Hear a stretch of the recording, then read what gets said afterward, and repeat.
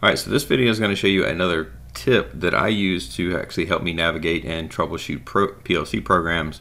Um, and that's using Studio 5000 or, or even RSLogix 5000, right? So this is going to be using the uh, bookmark tool.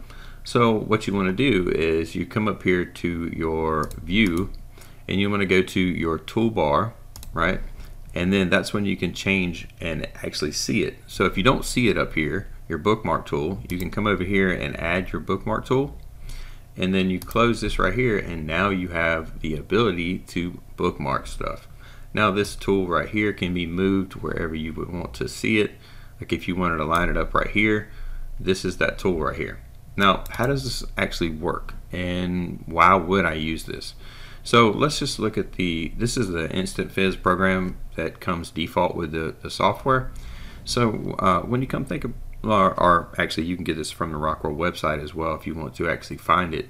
Uh, so just sign into your account and just search for Instant Fizz. Uh, there'll be a download for it. So uh, when it comes down to it though, uh, when you think about how to actually utilize this, let's let's think about how we want to like. Let's just look at this star bit right here. If we wanted to come in here and troubleshoot this, if we were seeing why wasn't it working or why was it working or why was something happening, we can go to cross reference and we naturally want to look at our destructive bit, right? So everywhere it's being controlled, we can look at right here, right here, and right here. There's three times, three different points in the program where it that bit is being controlled. Not that it's being used, there's multiple points where it's being used, right? There's multiple points where we're utilizing that bit to say, well, okay, we want that bit to control something else. But if we were looking for this bit to actually where it's being controlled, we want to come over here and find it. So why does bookmarks even help? So if you're troubleshooting a program, you can come over here and you can say, okay, well, this is one point. We'll have a bookmark here. We'll go back to cross-reference. We'll put another point in here. And we can say, okay, well, this point right here is another point where that's being used. All right. And then we can come over here to say this point right here is another point where it's being used. So it's being utilized twice in this bit, or in this, this rung right here. So now we can just simply go up to our bookmarks and find all that, every everywhere that's being controlled, right? Now, if counter to that, if we want to clear everything, you know, we want to remove all bookmarks, we can remove all bookmarks and come back and say, well, where are we utilizing this bit?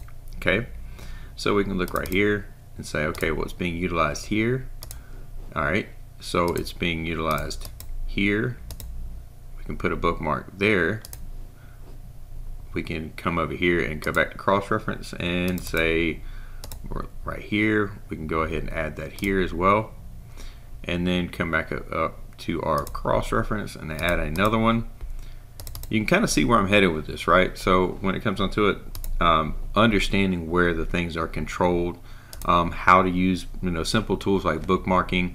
And this way you can come over here and see all your bookmarks and just simply go to them if you're troubleshooting something to see exactly where things are. So that keeps your train of thought when you're trying to troubleshoot something really simple and uh, like a streamlined path because all you're looking at at this point is your bookmark. So the things that, that you called out are important to you in this matter.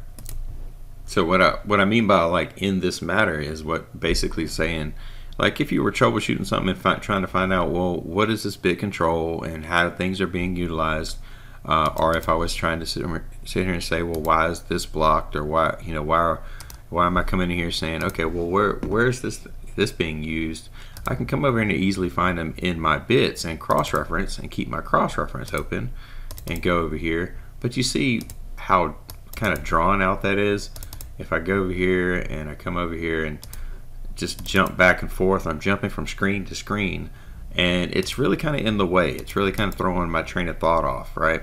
Because there's multiple spots and I have to remember that spot.